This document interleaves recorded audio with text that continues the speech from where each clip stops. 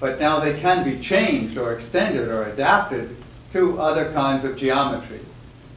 That's also Good. a property of other structures of mathematics that can be, uh, uh, you start out with one idea, one empirical observation or one set of observations, and then you find out that the structure you've abstracted can be applied to other contexts. I think there's a, uh, something rather remarkable in that.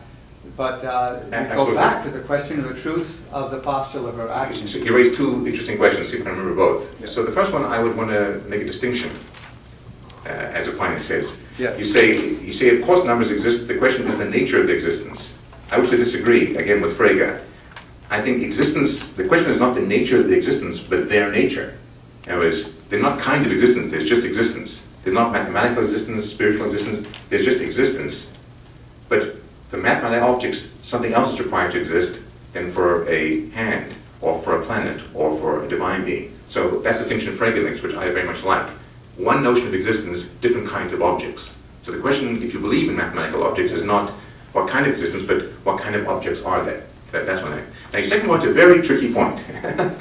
um, and so let me give you, uh, if we had all the time, I would, I would work on this more clearly. So,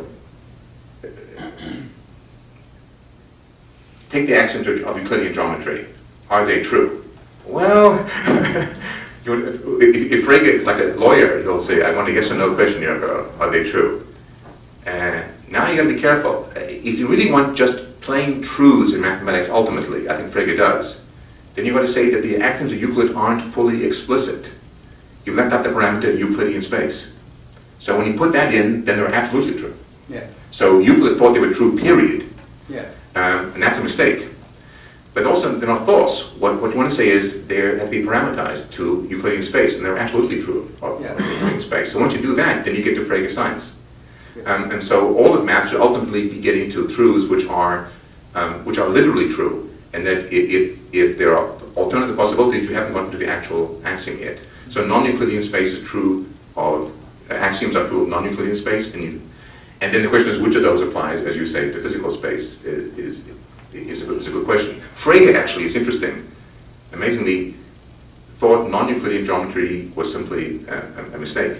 Um, um, he thought it was a, he thought it was consistent, but had no model. This is pre-Einstein, um, um, uh, actually also post-Einstein. Um, um, um, but he wanted just plain truth, and I, I agree with that. I mean, you to make up your mind. So i- if you want truth, so for example, the Peano postulate, this is what Frege says. This is how arithmetic differs from geometry, he says. This is how arithmetic differs from geometry. Is Euclidean axioms are true only of Euclidean space. Um, um, but, but Peano's postulates are true, period. And that's, he says, there shows their kinship with logic.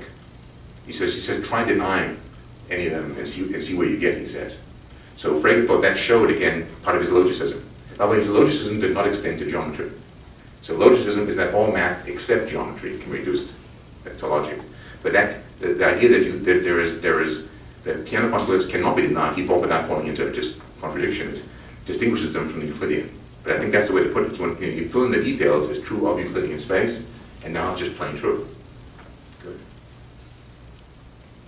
I had another comment that uh, when you said that 1 plus 1 plus 1 is 3, uh, but there's not another 1, you have a 1, you don't have another 1, uh, this reminded me how the, uh, the Egyptians uh, worked with fractions because they had a half, a third, a fourth, a fifth, but they couldn't imagine that there was a second fifth nor a second tenth.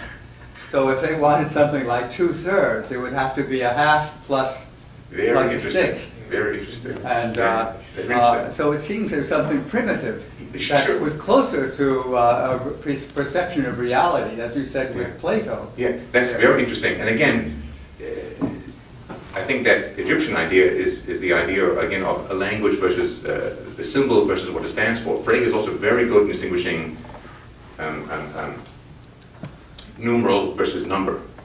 Yes. Um, I'm very big on that. And, and so when I say 3 is equal to 1 plus 1 plus 1, there are three numerals for 1. Um, so that's the first, so it's, definitely- it's three of something, right? but they're not three ones, otherwise we're in real trouble. but people have tried that out.